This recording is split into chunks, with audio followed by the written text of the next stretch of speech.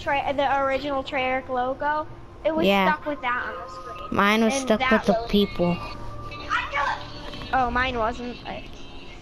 Okay, doing another stream now. I'm gonna join you. Huh? I'm gonna